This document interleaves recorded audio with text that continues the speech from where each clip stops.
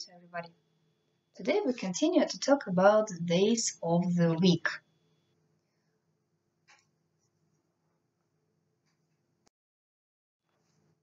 I'd like you to look at this rhyme. Взгляните, пожалуйста, на это стихотворение. Let's read it all together. Давайте прочтем его все вместе. Every week has seven days. See how many you can say. Sunday, Monday, Tuesday, Wednesday, Thursday, Friday, Saturday.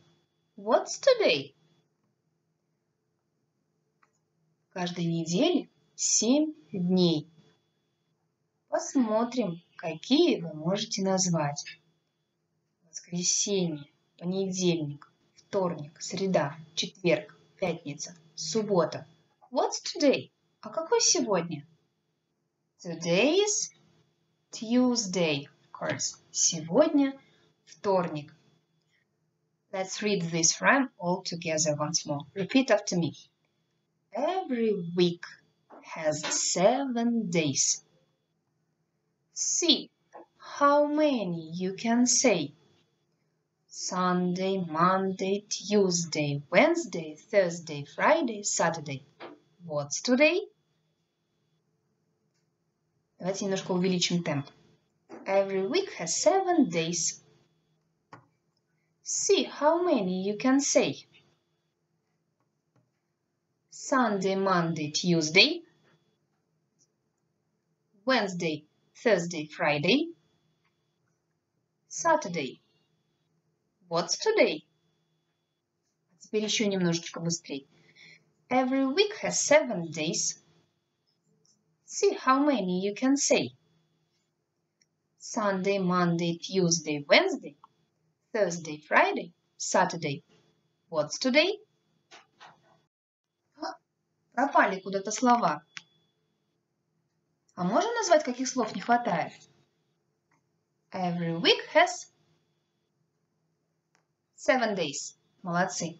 See. How many you can say? Умнички. Sunday, Monday, Tuesday, Wednesday, Thursday. Молодцы. Friday, Saturday. What's today?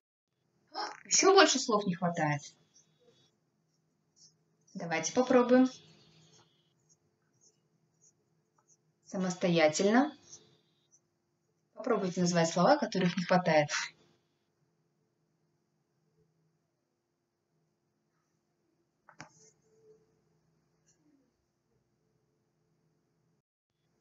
Молодцы. Думаю, вы справились на ура. Давайте еще раз прочтем его. Every week has seven days. See how many you can say. Sunday, Monday, Tuesday, Wednesday, Thursday, Friday, Saturday. What's today? Я не задаю каждому из вас выучить это стихотворение, но если оно вам понравилось и вы его хорошо запомнили, то я буду очень рада, если вы запишите аудиосообщение и пришлете его мне. И, конечно же, получите за это оценку. Open your notebooks. I'd like you to write down this table in your notebook. Я бы хотела, чтобы вы переписали эту таблицу к себе в тетрадку. Для этого давайте сначала объясню вам кое-что. Итак, мы помним с вами время present simple tense, настоящее простое время, которое мы используем, когда говорим о регулярно повторяющихся действиях. Основном, что происходит с нами каждый день. Например, I go to the park on Saturdays. Я хожу в парк по субботам. Look at this table. Affirmative. Утверждение. В утвердительных предложениях мы используем с вами инфинитив глагола без частицы to. We play. Мы играем. You play. Вы играете. They play. Они играют. Negative form. Отрицательная форма.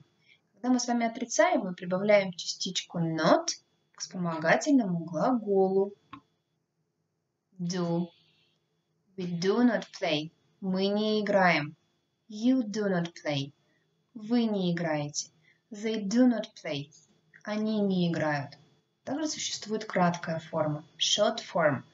То есть do not мы можем сократить до простого don't. We don't play. You don't play. They don't play. В разговорной речи чаще всего используется сокращение. Interrogative.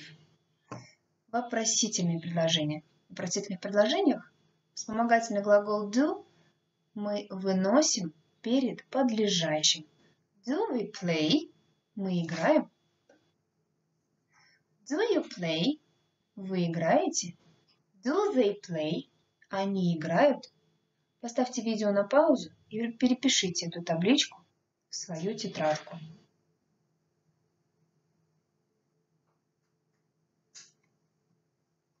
Взгляните ниже. The affirmative is formed with the personal pronouns we, you, they and main verb. Ребята, main verb – смысловой глагол. We go to the park on Saturdays. В длительных предложениях то, что мы с вами уже сказали, мы используем обязательно подлежащее и смысловой глагол. Мы ходим в парк по субботам.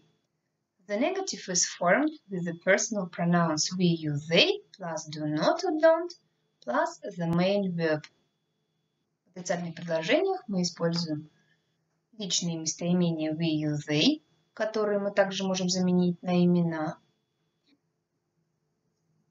Вспомогательный глагол do с частицей not и смысловой глагол We don't go to the school on Saturdays. The interrogative is formed with do plus the personal pronoun and the main verb. Do they play tennis in the afternoon? Они играют в теннис по... после обеда. В вопросительных предложениях мы используем вспомогательный глагол do личное местоимение и смысловой глагол. The present simple is used for something that happens regularly. Present simple мы используем тогда, когда говорим о чем-то происходящем регулярно. We get up at 7 o'clock. Мы просыпаемся в 8 часов. Это правило записывать не обязательно. Open a pupil's books at the 41st page, 41 страничку своих учебников. Откройте, пожалуйста. And look at the exercise number 18. Read and answer. Прочтите и ответьте. Look at the example. Listen for these children. We go to the park on Sunday. We go to the park on Sunday. Мы в воскресенье ходим в парк. Do Dana and Ida tidy their rooms on Sunday? No, they don't. They go to the park on Sunday. Дана и Айдару прибирают в комнате в воскресенье? Нет, они идут в парк. То есть они ходят в парк в воскресенье. Let's listen for these girls. We listen to music on Saturdays. Мы слушаем музыку. В субботу. Do Асель and Сауле go to school on Saturday? No. Продолжите. Запишите, пожалуйста, это предложение письменно в тетрадку. And what do they do? Если нет, то чем они заняты? We watch TV on Friday. We watch TV on Friday. Мы смотрим телевизор по пятницам. Do Alan and Demi ride their bikes on Friday? No. They on Friday. Улан и Дамир катаются на велосипеде в пятницу? Запишите, пожалуйста. Предложение также в тетрадь.